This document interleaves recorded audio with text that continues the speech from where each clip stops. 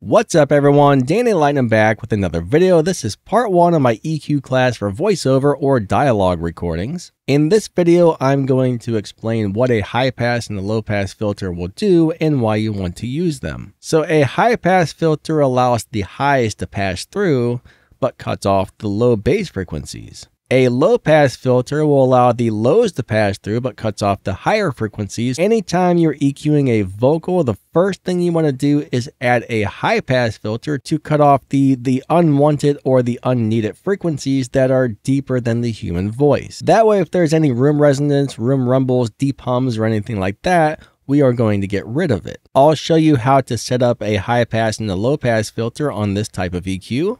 And I will also show you how to set your high pass and your low pass filter on this type of EQ. This is part of my playlist for editing or processing the audio on your voiceover and I'm going to make sure that pops up on the screen at the end of this video in case you want to see more of the videos, but let's get to it. Every EQ should have a high pass and a low pass filter setting. If they don't, you might want to look into getting a different EQ. But the first thing you always do for a voice recording is set a high pass filter to about 60 hertz. That is a very good starting place. There's usually not a whole lot of information below 100 hertz on a human voice, so some people will just go ahead and set it to 100. But you can see on this EQ, there's all these little frequencies down here on my voice that are below below 60.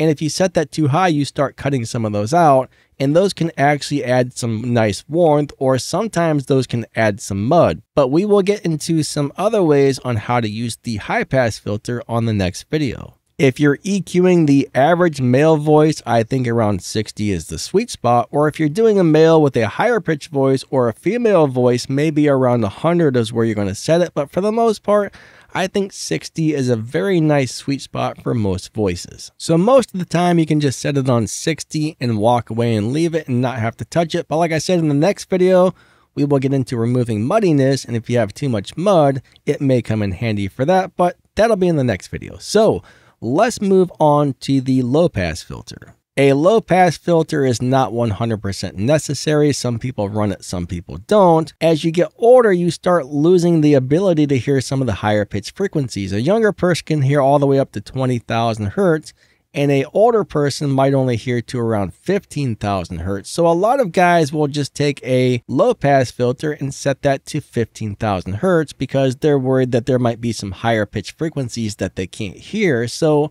you know what? That might not be a bad idea just to set a low pass filter. You kind of got to use your ears, but I would say somewhere between 15 and 18,000 is a pretty good place to put it for your average person and your average voice. So let's go ahead and switch over to the other type of EQ so we can show you how to find and use the high pass and low pass filters on the other type of EQ. So on this type of EQ right here, we basically just find the two knobs. There's usually one knob for high pass, one knob for low pass. We'll grab the high pass filter, set that to around 60 hertz, and we won't touch it again unless we need to. Like I said, the next video is going to cover some of this.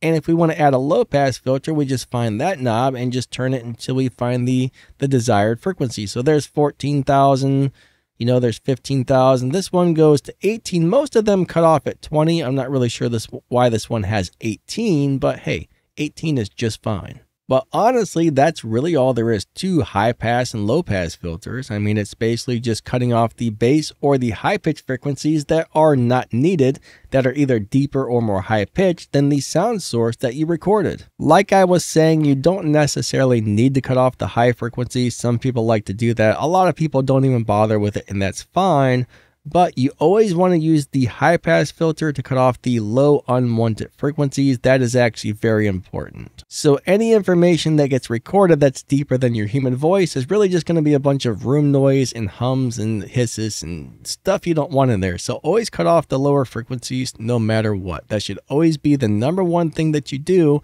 when setting up an EQ on a vocal.